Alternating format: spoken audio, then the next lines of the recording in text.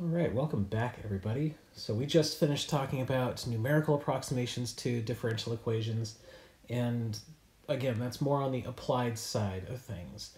So computing a solution and seeing how practical it is to get to an approximation is on the uh, kind of kind of on the cusp actually between pure and applied math. Uh, because the question you're trying to answer has to do with an ODE, which usually comes from a from outside of math. But the way that we study that uh, computability of a uh, computability of a, of an approximation is very much a pure math subject. I feel. Um, and we're going to start to test that a little bit now because we'd like to uh, revisit the existence and uniqueness theorem with a little more, a little more uh, rigor. So the last time we saw existence and uniqueness, we saw it in terms of the differences between linear and nonlinear differential equations. And we saw that nonlinear uh, equations are a fair bit nastier to work with in general uh, than their linear counterparts. So for linear differential equations, we actually have a proof, a solid proof that a solution exists for a given initial value problem that is a linear ODE. Uh, and that solution is exactly the uh, integrating factor method that we came up with. So in some cases, proofs are constructive, and turns out that we're going to construct exactly the same uh, sort of, or we're going to create another constructive proof here uh, in the next couple of videos.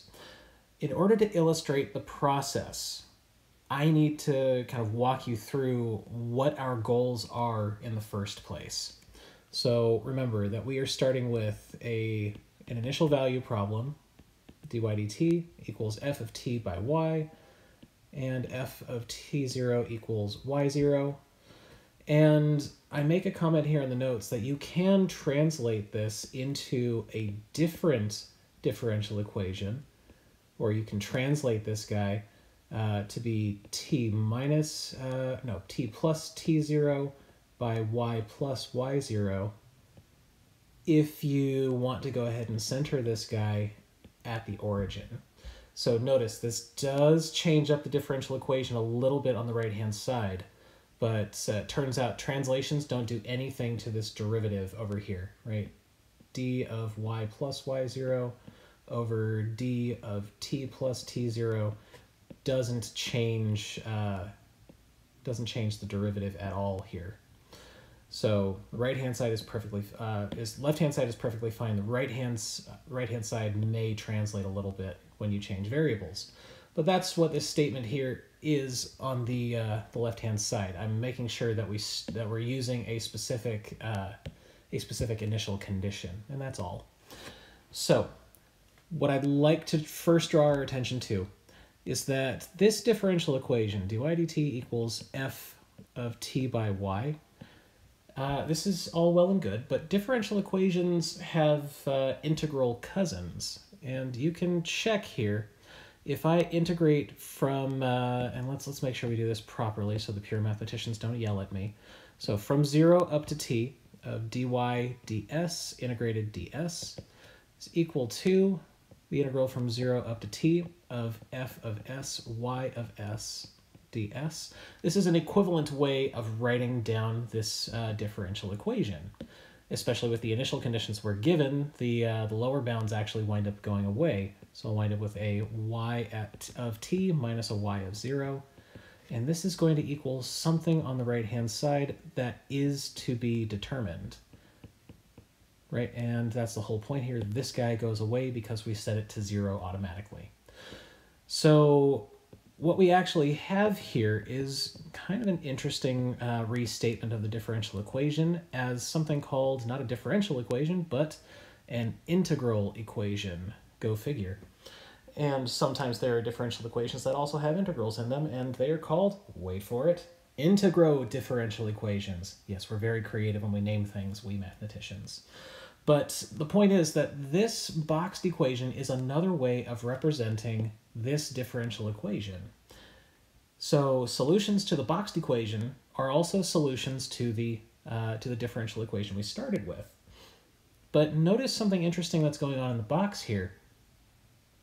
In order to solve for y, I need to know what y is. And that is a bit of a hiccup, which is why we don't actually use uh, integral differential equations uh, as a starting point for, uh, for undergrad math. But there is kind of a peculiar point here that if I know what y is, then y satisfies this equation. It's what's called a fixed point of this, uh, of this operator. Right, so if I create a linear operator L of, I don't know, let's go ahead and call this x, and define it to be the right-hand side of the equation here, x of s ds, then if I plug in a solution to the differential equation, then I actually wind up with the same function. I wind up with something that is unchanged by this integral operator. And this is the uh, is the motivation behind what's called Picard's method. Uh, and Picard uh, actually created uh, effectively a fixed point iteration scheme. So it's actually very well known in uh, in analysis in advanced calculus, but fixed point iteration fixed point iteration schemes are actually really great ways to get solutions to differential equations. And let me see if I can't convince you here. We are going to try to get this uh, this fixed point solution by getting uh, by making uh, really really uh, a really terrible approximation to the solution and then iterating this guy through this operator. And what do I mean here? Is that I'm going to create a whole bunch of functions, phi n plus 1 of t is going to equal the integral from 0 to t of f of s by phi n of s ds. And this is Picard's method here, where we go ahead and take phi sub 0 of t equal to the 0 function. And we just iterate this for n greater than or equal to 0. And did I get the index right this time? Yes, I did. Okay, go me. So let's see exactly what's going on here. Like if we if we can create an iteration scheme, uh, we're, we're effectively creating a sequence of functions. And these functions, supposedly, uh, if we do this if we do this correctly, these functions phi sub n are going to converge to the to the solution of this differential equation, and specifically of this initial value problem. And that would be the uh, the way to pr- that would be a way to prove the existence and uniqueness theorem is that there is some limiting function out there that satisfies the initial condition uh, and is smooth enough so we can differentiate it and get back to the differential equation and show that it is a solution after all. So there are four questions that we have to answer as we go through this proof. So I'm screwed. I'm not going to write them down because they're right over here. So do each of these phi n equations, or phi, uh, phi n functions, I should say. So that's not equations, that's functions, right? Uh, do each of these phi n functions actually exist? In other words, if I integrate, or can I integrate these functions? Are the functions continuous? Is there, is there any way that these guys uh, break down along the iteration? Uh, two, does this sequence of phi n's actually converge, right? Does it converge to anything at all, right? We don't know. Uh, number three, uh, if it does converge, what sorts of properties does that limiting function phi, right, not an index phi sub n, but phi itself, what sorts of properties does that limiting function have, right? And in particular, does it solve the equation? Does it solve the differential equation? And I should put that right back. Oh, that would be way back up at the top, yeah.